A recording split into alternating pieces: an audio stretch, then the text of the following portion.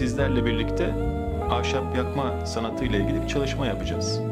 Tabii ben naçizane bu sanatı e, bir hobi olarak bir yıldır e, amatör şekilde yürütmeye çalışıyorum.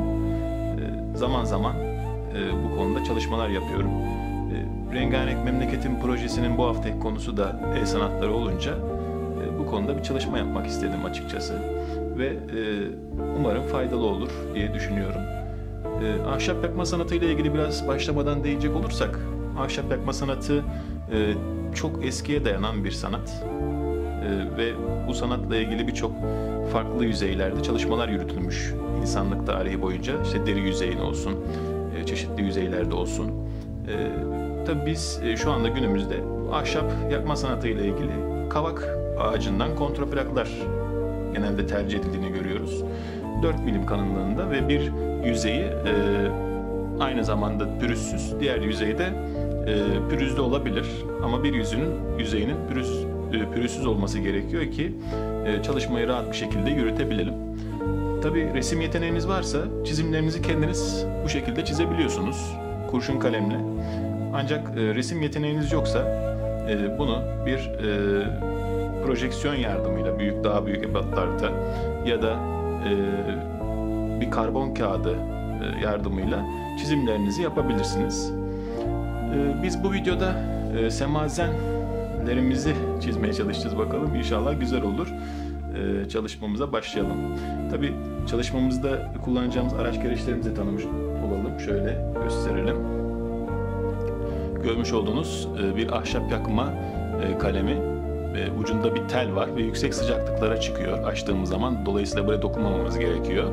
E, bu sebeple aslında e, öğrencilerimizin bu e, sanatı icra ederken yanında bir gözetmen bulunması onların e, faydasına olacaktır. E, burada görmüş olduğunuz 4 adet e, vidası var ve bu 4 adet vidayı da ufak bir tornavida yardımıyla söküp teli değiştirebiliyoruz. Bu teller farklı farklı tellerimiz var. Mesela burada örnekleri ben biraz kutusu da yok ama şöyle göstereyim değişik örneklerimiz var burada, tellerimiz var. Bu tellerimizi e, farklı çalışmalarda farklı tellerimizi kullanıyoruz. Genelde kullandığımız tel gölgeleme olarak bizim işimize yarıyor ama farklı tellerimiz de var düz olarak şu şekilde. Ve ben çok fazla detayını bilmediğim için yanlış bilgi vermek de istemiyorum. Genellikle ben e, burada gördüğünüz bu e, teli ve aynı zamanda e, şu teli şöyle göstermiş olayım. Belki görünüyor mu tam bilmiyorum ama Evet şöyle şu teli kullanmış oluyorum. Evet çalışmamıza başlayabiliriz. Ee, çalışmamıza başlamadan önce de tabii e, mutlaka e, yüzeyini temizlememiz gerekiyor fırça yardımıyla. Bunun için özel tel fırçalarımız var. Bunlarla temizlik yapmamız gerekiyor ki önceden e, telimizin üzerinde kalan e, herhangi bir nesne olmasın. Başlattığımız zaman yavaş yavaş telimiz ısınmaya başlayacaktır derecesini kendimiz ayarlayabiliyoruz. Yüksek derece ayarladığımız zaman daha hızlı bir şekilde yakıyor ve düşük derecede de daha yavaş bir şekilde yakıyor.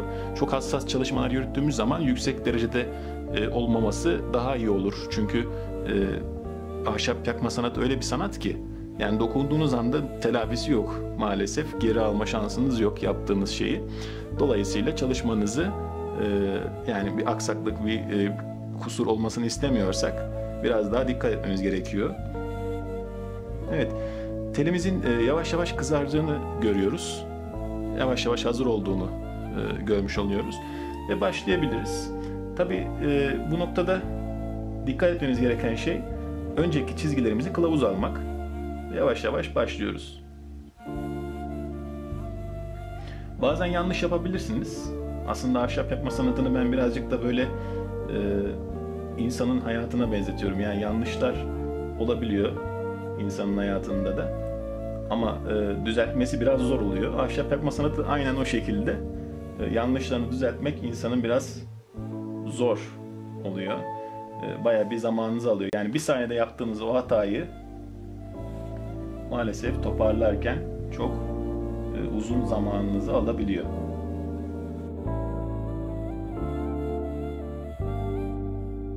Önce köşelerden başlasak daha iyi oluyor. Köşelerden başladığımız zaman sonrasında içerisine doğru. Ben genelde o şekilde tercih ediyorum ama tabii farklı farklı yöntemler de olabilir.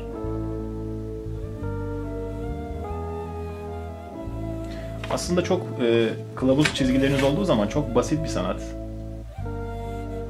Yani sizi böyle çok fazla e, nasıl diyeyim yormuyor.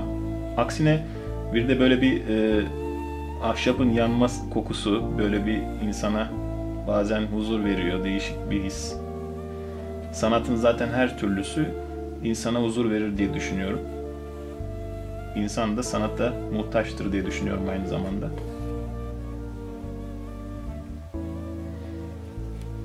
Evet eminim şu anda beni izleyen resim öğretmenlerimiz yani çok basit çalışmalar yaptığımı düşünüyor olabilirler. Ben zaten bu konuda çok iddialı değilim. Sadece öğrencilerimize faydalı olmak, onlara bir yol açmak istiyorum esasında. Öğrencilerimiz içerisinde çok önemli yetenekler olduğunu düşünüyorum ve bu yeteneklerin de e, zamanla bu tarz böyle kapılar açıldığında ortaya çıkabileceğine inanıyorum.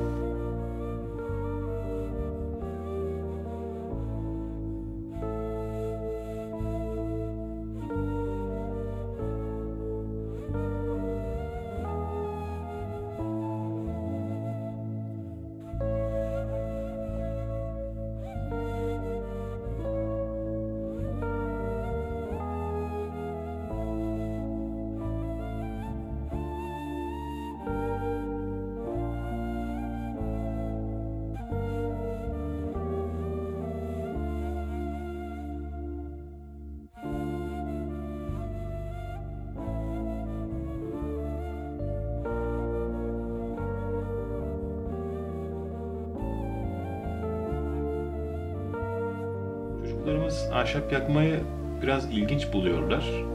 Ancak öğrendikleri zaman da oldukça seviyorlar. Yani e, kendi başlarına bile çalışma yürütebilirler birkaç defa gösterdiğimiz zaman. Ve hoşlarına da gidiyor, ilginçtir. Günümüz dünyasındaki çocukların aslında bu tarz sanatsal aktivitelere o kadar çok ihtiyacı var ki. Yani bu sebeple e, onların yeteneğini keşfetmekten ziyade e, bu tarz etkinlikler içerisinde bulunmaları ruhsal sağlıklarının belki de estetik görüşlerinin gelişmesi açısından oldukça faydalı olacaktır. Tabii e, semazenlerimizi çizerken aslında e, semanın hikayesini de e, anlatmadan olmaz diye düşünüyorum.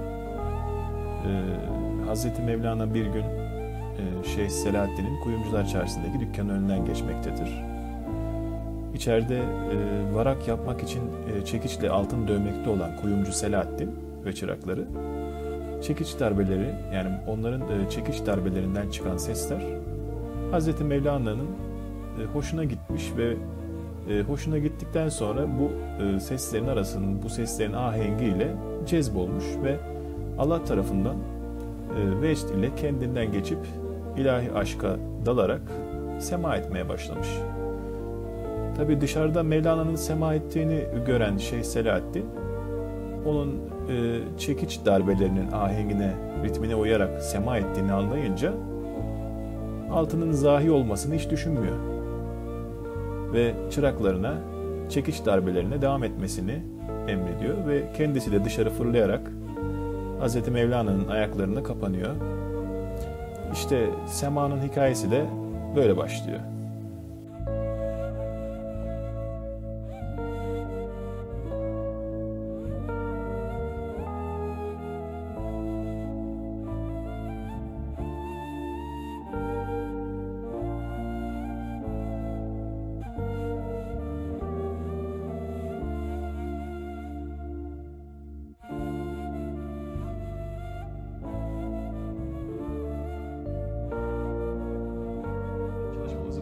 Noktalıyoruz.